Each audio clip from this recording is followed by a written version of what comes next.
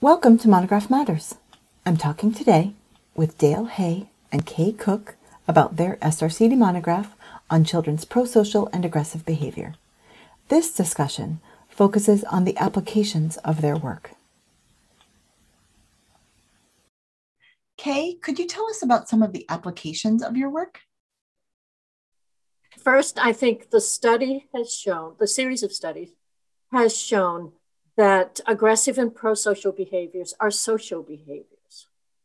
Um, there's uh, a, the daughter of a friend of mine who um, is totally extroverted. When she was about 18 months old, uh, she went, uh, she was at the college where I teach at one point, and she went from door to door, from office to office with her little basket of Valentine's Day candy, saying, Hi, my name is Kirsten.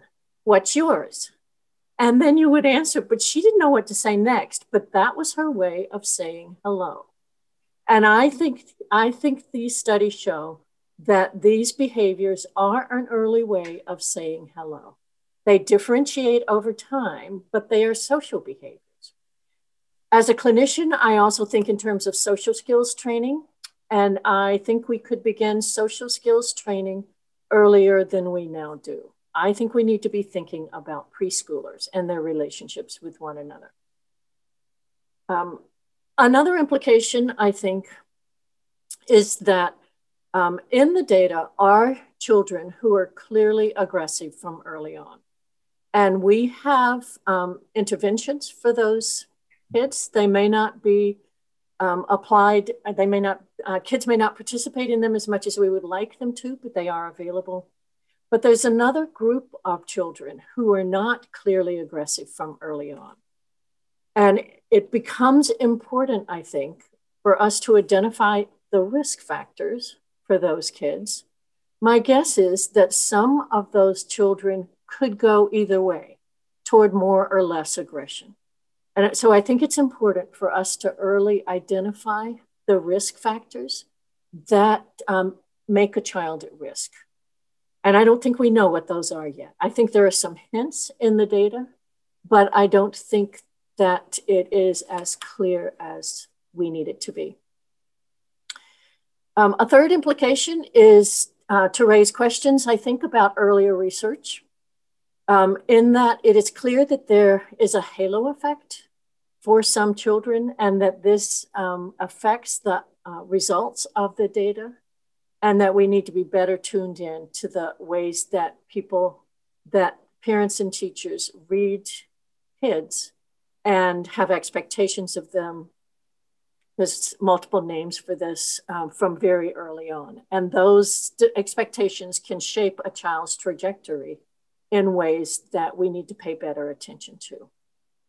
And then I want to end with talking about research implications. I think the data serve as a corrective to some of the literature out there. Um, I think there is a tendency in the literature to focus in aggressive studies of aggression on those children who are clearly aggressive from early on. And I think we need to be paying careful attention to all three those that are clearly pro social, those that in the long term have a different trajectory, wh- whichever direction it goes, and then those who appear that in the long term they will be uh, very aggressive. And I think we need to be paying careful attention to those three groups longitudinally. I also think, um, and I'm intrigued by the ages three to seven. I think that's a pivotal time for development. And that's not new for me to say that. But I think that this uh, research suggests that um, identification is pivotal. We need to know who these kids are. We need to know them well as individuals, um, beginning around three years of age. I think we want to know what happens to them as they enter school. Um, because my guess is the transitions of school are a trigger uh, for further development, perhaps um, a pivotal trigger um, shaping which direction.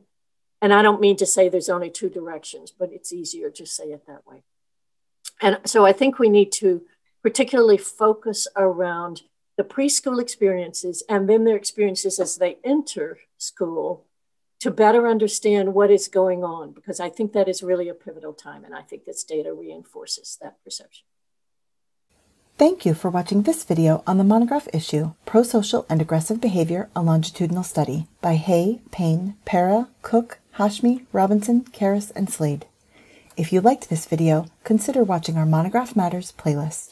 For additional resources related to this and other issues of the monographs of the Society for Research in Child Development, please visit monographmatters.srcd.org.